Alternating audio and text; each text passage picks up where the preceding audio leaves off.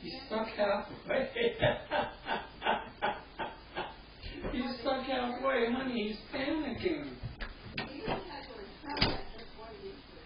He was like, back legs, he was going like this, like.